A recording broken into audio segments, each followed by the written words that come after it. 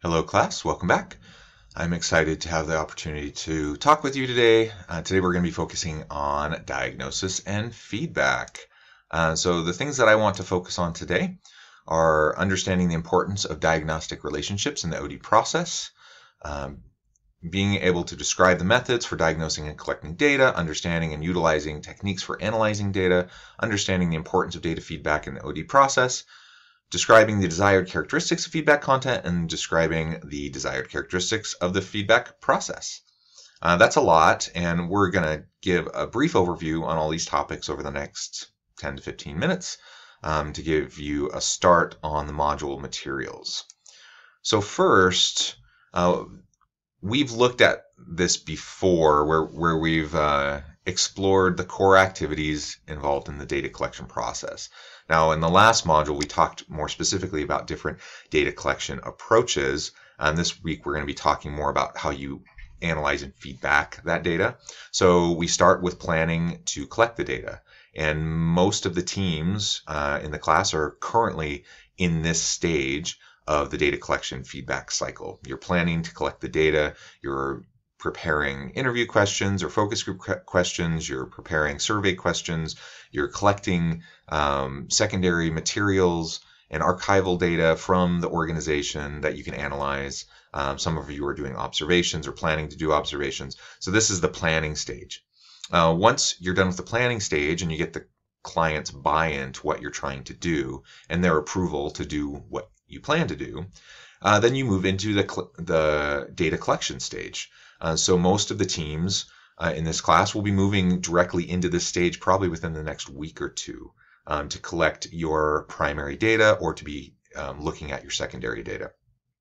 I need to emphasize here that it's really important to get the buy-in of your client organization. They need to understand what you plan to do uh, with your data collection. Uh, they need to understand the methods you're using. They need to agree upon the method and particularly because they're going to be granting you access. They're going to be granting you access to the physical facilities, perhaps, um, or to the the employees to interview or to do surveys. This all translates into lost productivity time for the organization. So they need to believe in what you're doing. You have to sell them on the data you need to collect and why and what it's going to do for them. And you need to communicate that to them clearly. Once they uh, sign off on, on your plan, then you collect the data, and then you move into analyzing the data. Um, now, I'm not going to talk a ton about analyzing the data today, um, but there are many techniques to looking at the data that you collect, and it depends on the type of data you collect, whether it's qualitative or quantitative data.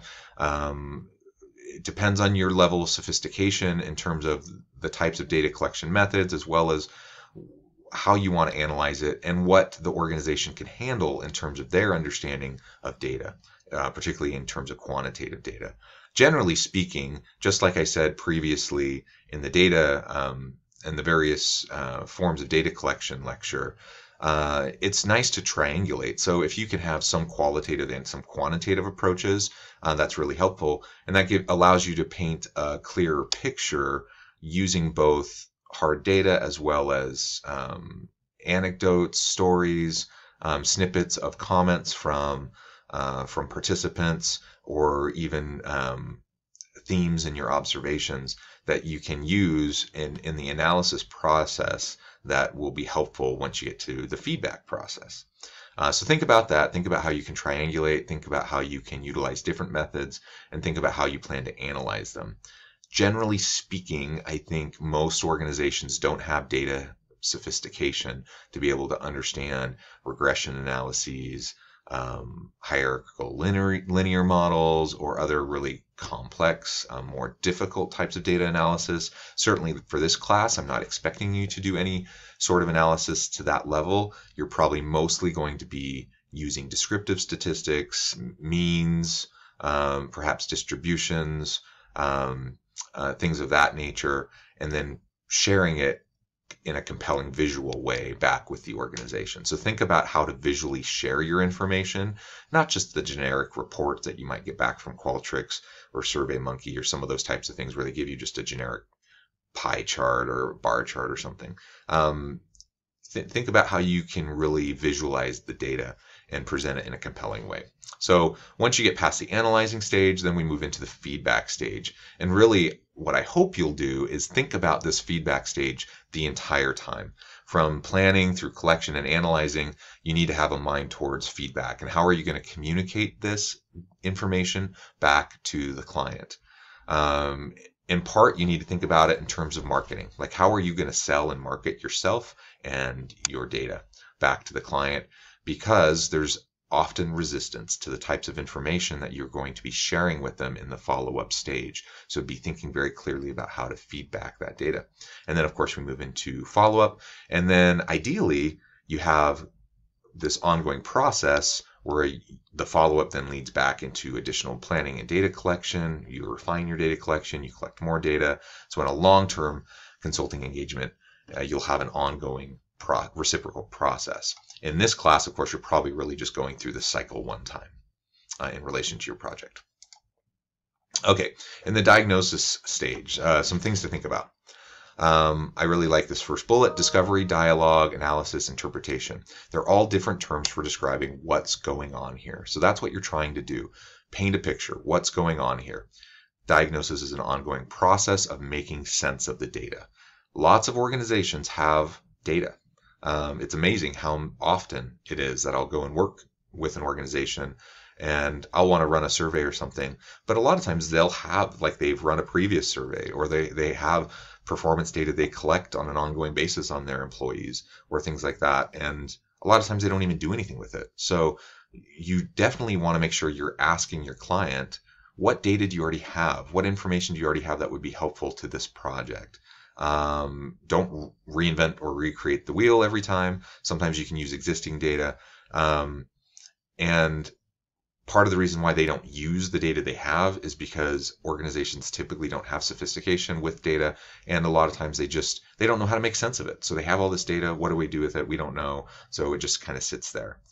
Your job particularly if you're doing new data collection is to make sense of the data um, so we have deductive inductive and statistical approaches in the diagnosis um, stage so the deductive that's analysis conducted generally using a model such as the Burke-Litwin, the Nadler-Tushman, the Weisbord models, sorting data into pre-existing categories. So you you've already kind of created themes or categories, um, and then you start to put your data into those buckets. Inductive is really the opposite. Analysis conducted developing categories from the data using the analyst's own labels. So, for example, if you go to interviews or you do observations, or you have open-ended responses on a survey, um, that you look at what is presented to you, and then you basically sort that and thematically uh, you sort that to put it into different buckets to try to better understand it and you create your own buckets rather than having some pre-existing buckets that you're trying to put the data into and then statistical i've, I've made reference to this already uh, but analysis conducted using established statistical tests and techniques often with the assistance of computer software um, if any of your projects require um, more advanced statistical methods, um, I'm happy to help you with that. So please don't hesitate to contact me. Uh, but uh, like I said, I suspect for most of you, it'll largely be um, descriptive statistics, mean scores, distributions, some fairly basic um, figures, tables, charts, uh, ways to to visualize the data that is compelling. Um, so those are things for you to think about. Now, in the in the uh, discussion for this week, you'll have a chance to think about and respond to a couple questions. Have you ever received difficult or painful feedback? How was it presented? How did the presentation of the feedback affect your understanding and internalization of it? And have you ever had to deliver difficult feedback to a friend, family member, or coworker? How did you do it? How was it received? What, if anything, would you do differently if you did it again? Now, these are really important questions, um, in part because it helps you think through how you're going to use your own data and how you're going to frame your own recommendations to your client and how you're going to feed back the information that you find from the uh, data collection and the analysis that you do.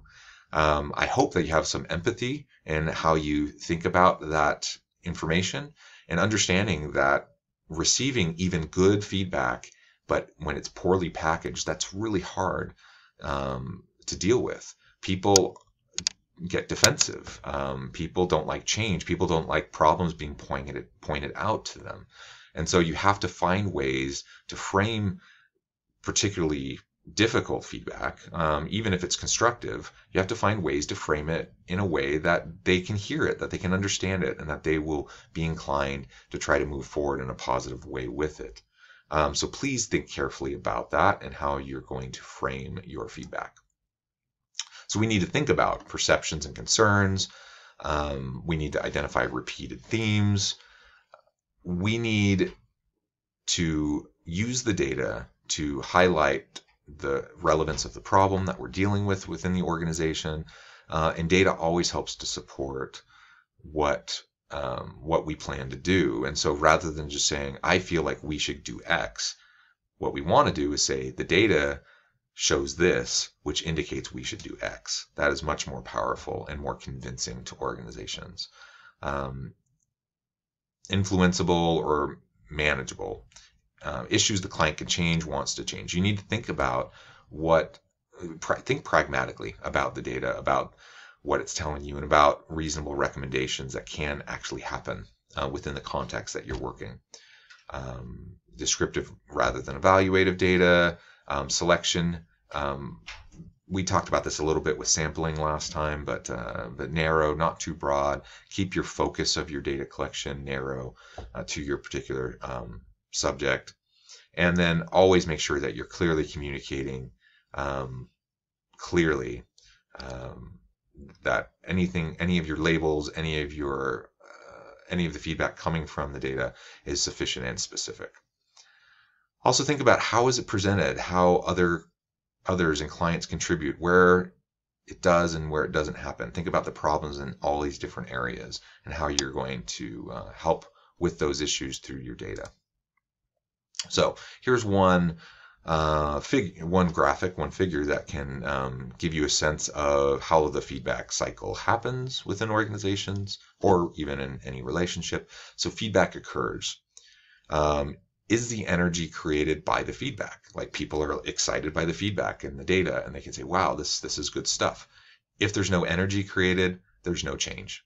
It doesn't matter how good the data is. It doesn't matter how compelling the results are, or how interesting the results are, or how strong the content of your recommendations are. Uh, none of that matters if ultimately you don't create energy in the feedback that you're providing. But if yes, what is the direction of the feedback? Um, sometimes there's energy created, but it's not great energy. Energy to deny or flight or fight the data. So sometimes it's defensive energy, and people just get upset and they say, you know, who's this person coming in trying to tell us how to run our organization? They don't really understand or know us. They don't have really clear data to back up their recommendations. Then they start pointing out faults in the data and all that kind of stuff. Um, so anxiety resistance, no change occurs when energy is created to deny or fight the data. So what you want is to create energy that then is used to identify and solve the problems. Uh, if that happens, then you have to ask, do structures and processes turn that energy into action? So it's one thing to have good feedback that then leads to some positive energy that then leads to um, people wanting to solve the problem, but then that gets to where the rubber meets the road and people actually have to do the hard work of of implementing change and changing structures and processes and practices. Um, and only when that energy maintains throughout this whole process does change occur. If not, then failure, frustration, no change, re-entrenchment, all of those sorts of things. Um, so think about this as you're going through your process uh, over the coming weeks to collect your data. Um, I'm almost out of time for today, so I'll just very quickly go over this last little bit. Um, but think about how you're going to construct that meeting. Um, don't project your own feelings. Uh, try to be careful with your language um, so that you don't create barriers where there doesn't need to be additional barriers. Uh, and come to an agreement on the meaning of the data and the next steps. Ultimately, that's your goal in the feedback meeting. Um, engage the client to take action. And then finally, make sure that you think about investment required, access, relevance, accuracy, and flexibility. Select a method that fits with the time available, the motivation of the client, and the severity of the problems. Don't overinvest. If you can do that, then I think you'll be in pretty good shape as you move forward with your projects. Thanks and have a great week.